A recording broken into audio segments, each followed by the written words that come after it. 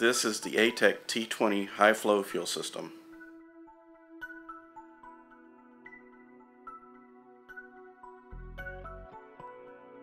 The ATEC fuel system incorporates a UL 142 double wall fuel tank.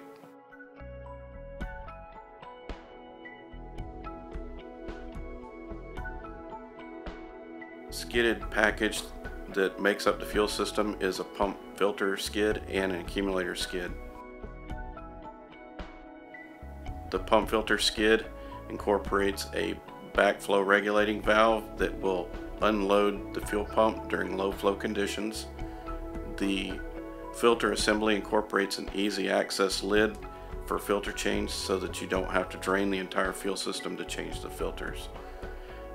The accumulator skid now incorporates a 25 gallon accumulator and a pressure regulating valve.